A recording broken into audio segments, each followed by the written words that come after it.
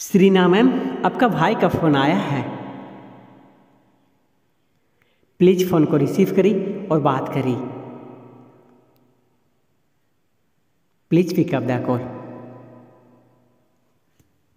Shreena ma'am please अपना phone को receive करी और बात करी। Please pick up the call